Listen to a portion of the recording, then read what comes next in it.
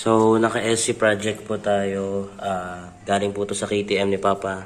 KTM 390. Tapos, ito pong elbow is cha.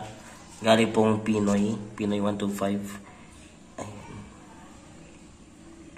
So, swak naman siya sa sukat ng stock elbow ng NS200 natin. So, yan, dinugtong na lang natin dito. Ayan, then gumawa tayo ng improvise lang muna na ano, ah, parang bracket. Ayan.